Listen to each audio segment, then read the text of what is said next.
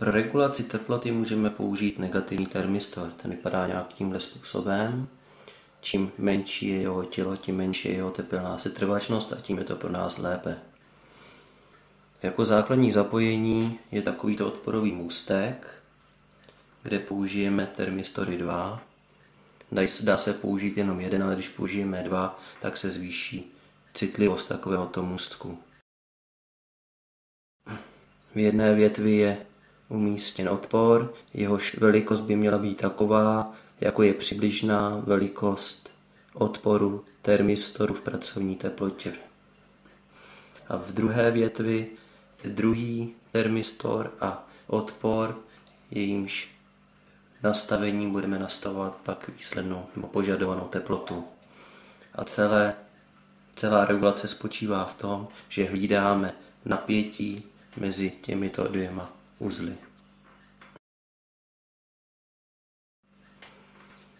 Tak vlastní zapojení by mohlo vypadat nějakým takovýmto způsobem.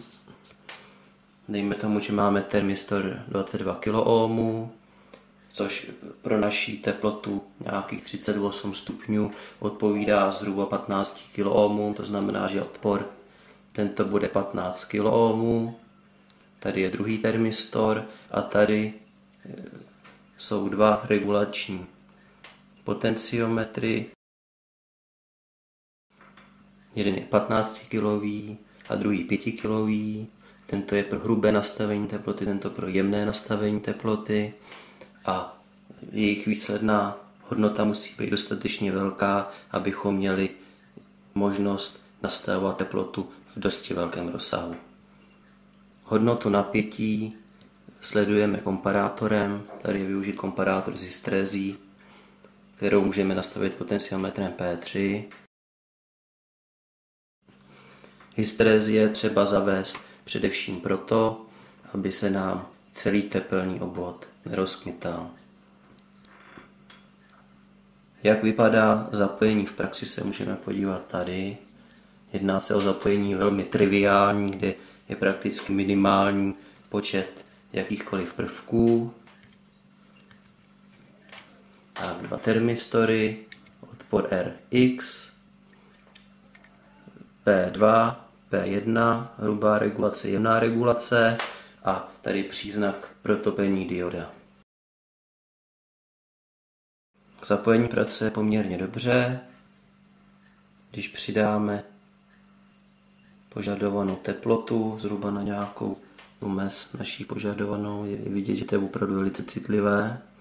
Se přiblížíme a hned to bot reaguje. Tak se můžeme podívat, že i když přiblížíme nepatrně ruku,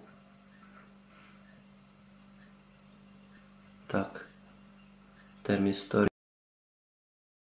protože jsou poměrně dost citlivé, okamžitě reagují, když mám ruku vzdálenou nějakých 5-10 cm.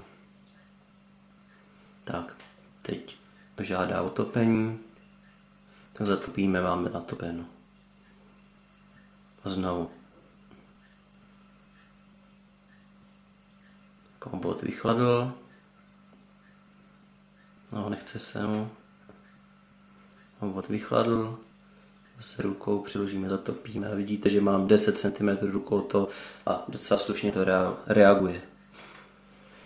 Jako vyhodnocovací obvod je tady v tom případě použít pouze komparátor, nemám tam zavedenou hysterézi, ale pro pozdější aplikaci je tam potřeba ta hysteréze zavést, protože by celý obvod strašně často zapínal a zvláště když bychom spínali nějaké žárovky, tak by to vedlo k jejich brzkému zničení, prasknutí.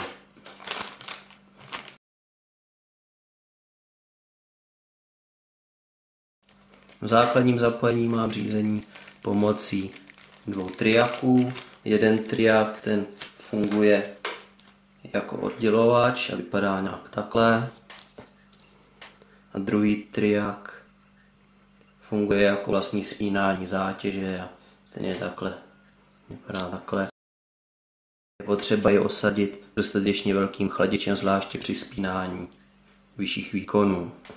Spínání zátěži můžeme pro, provádět také relem, to vypadá nějak tímhle způsobem, ale pomocí tyristoru je to takové elegantnější, protože v relé jsou přeci jenom mechanické kontakty a není to to pravé ořechové.